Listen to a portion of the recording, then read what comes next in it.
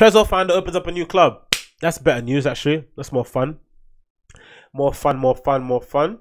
So, um, the founder of Tresor, uh, D- Dimitri Hegemann, who I've actually heard him speak a few times um, on different podcasts, is opening up another club, right? So he's always very, um, I think, I don't know what it is about this dude. Maybe it's interior designers he works with, but he's always creating some really cool, interesting spaces.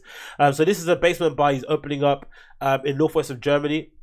Um, let me get up here on the screen. Uh, Resident Advisor article: Tresor's Dimitri to open up a new club in northwest of Germany, um, which is interesting too because it's not opening up in Berlin; it's opening up somewhere else. So maybe trying to expand the techno sound and scene across the entire um, a span of Germany and not just in the in the main city, which probably is a thing that he's doing. I don't know, but it looks really cool and interesting. Um, as yet unnamed basement space in the region of Westphalia, where Hegemann was born.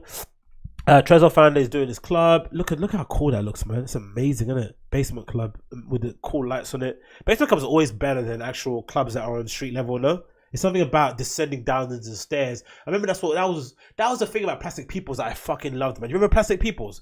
Plastic Peoples was one of the best London clubs we ever had. And again, like region, that's because I think Plastic People is probably one of the clubs, if not the only club in London that I think really suffered from regeneration and the kind of uh, gentrification of London. That was the one that really was the one that they fucked up on. They should have never closed that one. Like Curtain Road, middle of Shoreditch, basement bar, cool nights, like just one of the best venues ever out. Like had some legendary parties at that place, man. Um, so yeah, it was on Curtain Road in Shoreditch, which if you're familiar with Shoreditch is like basically the main area, main strip now. Um, great sound system, 250 people capacity, if not a bit smaller than that, as you can see from these pictures, It's fucking tiny. Like absolutely dirty sound system. Um, great um, events on there. Just a really, really cool space. Wow, man. Oh, sorry, that's Peckham. That's Cavendish Pool Club in Peckham. Sorry, I was about to say. So many legendary nights I've had in Plastic Peoples, man. I, re- I, that's the one place I think I really, really, uh, I'm sad that was you know didn't hang around longer. Rotary mixer, uh, nice turntables, the booth where you can see the DJ and slap on the fucking roof and shit, which is such a good venue, man. Again, really, really a bummer this place had to close when it did. But yeah, Plastic People was definitely the one. Oh, I see my friend there as well at the front. Cool. But yeah, so um, Dimitri opened up his own club, Basement Club, which again um, I'm, I'm a big fan of. The Berlin-based visionary um, who was born in uh, well, Westphalia in 19 in 1954 revealed the news via Facebook, calling the project a dream come true. It's sick. Uh, though the venue doesn't have a name yet, Hegemann promises an excellent sound system and effective acoustic treatment in a raw basement. Of the programming, he says the club will bring international DJs to the rural area as well as supporting fresh local talent. The opening date is still to be to be seen. Read him as original post here, take a sneak peek inside. Really cool, man. So here's his post. I was born in Little Village in Westphalia and since many years, I wanted to run a club uh, with a small and excellent sound system and effective acoustics. That's what I've wanted too. That's a big dream of mine. Imagine opening a, a nice little basement club, 300 people capacity, and booking your friends, having some international DJs fly by here and there, and also having a space that people can just come to and don't care about who is on the lineup, right? That's that's the main thing you want. I'm not sure how hard or how easy that is to do that sort of thing, but that's something I'd love to do. Um, somewhere in a raw basement.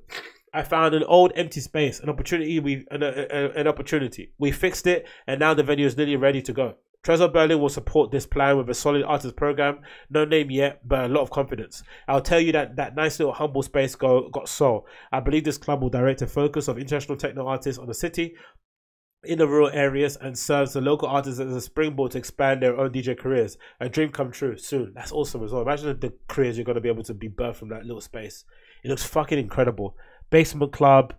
I'm not sure if that's made out of wood, the DJ booth. That looks cool. Some couches at the back here. Some really cool lights that look like similar to lights you might see in the studio of a TV show or some shit. There's a little cool alleyway here with bricks on either side. Um, yeah, really just cool space overall. It looks fucking interesting. Exposed brick, of course, because why why not if you've got a German club, a basement German club has to have exposed brick. I don't want to see no stupid plastering on the side of the walls or anything. Just looks fucking incredible. I'm a big fan of it. Uh, it's just Big up Dimitri. It was fucking cool. Wow. So yeah, un- yeah, unnamed space. So check that out or keep an eye out for that when that gets named. Um, and again, it's gonna be another opportunity. This is what I like about club culture, though, because it gives me opportunity to go to places I would never go to. I don't think I would ever been to Frankfurt if I didn't go to Robert Johnson. Right? I wasn't infatuated with Robert Johnson. I'm probably not gonna. I'm, the probably reason why I'm gonna go back to Munich, not Munich, um, Dortmund. It's for Club Division Air, not Club Division Air. Um, Salon Salon Amateurs, right? All these different places around the world that have a burgeoning kind of club scene or coming up or get featured in different places like Resident Advisor or Mixmag or you know you hear about on different forums, then get you interested and you start doing the whole club tourism thing. You end up you end up visiting places you would never think you'd visit. That's the thing I love about electronic music. Like the again nightlife, and then you again you meet you these places, you meet some cool people, you build some contacts, and then who knows? Who knows what happens? I love it. I fucking love.